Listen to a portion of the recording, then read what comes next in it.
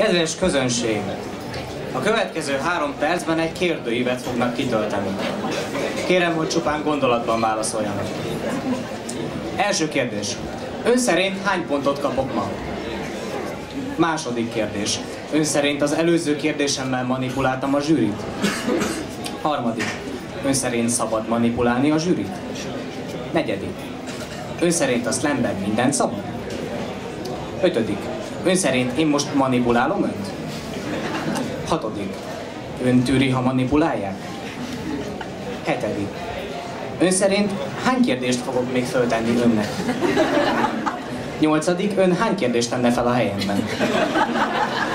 Kilencedik. Ön szerint önnek van beleszólása bármibe? Tizedik. Ön slammer? Tizenegyedik. Ön szerint mi a slam célja? Tizenkettedik. Ön szerint a slam célja azonos az én célommal?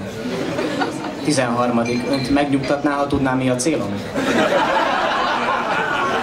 14. Önt megnyugtatná, ha tudná, mire gondolt a költő?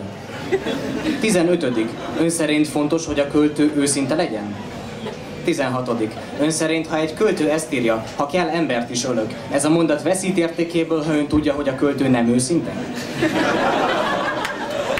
17. Ön szerint, ha én most azt mondanám, ha kell embert is ölök, az őszinte lenne? Ön szerint lehet a slammet a költészethez hasonlítani? Ez volt a 18-as. 19. Ön szerint igaz az állítás, mi szerint minden költészet lehet slam, de nem minden slam lehet költészet? 20. Ön szerint igaz az előző állítás ellentetje? 21. Ön szerint értékmérője a slamnek, hogy költészet-e? 22. Ön kivel létesítene szexuális kapcsolatot, slammerrel vagy költővel? 23. Ön létesítene szexuális kapcsolatot velem? 24.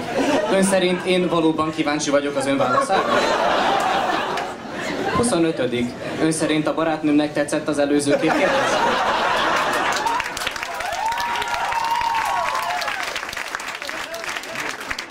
Hatodik. Ön szerint egy slammer mennyit ad fel, hogy a barátnőjének tetszen a szövege? 27. Ön szerint egy slammerre mennyit ad fel, hogy önnek tetszen a szöveg? 28. Ön szerint mennyi önfeladás megengedett? 29. Ön őszinte műfajnak tartja a slamet? 30. Ön szerint ez slam? És újra az első kérdés. Ön szerint hány pontot kapok ma? Köszönöm, hogy a kérdőív kitöltésével hozzájárult munkámhoz.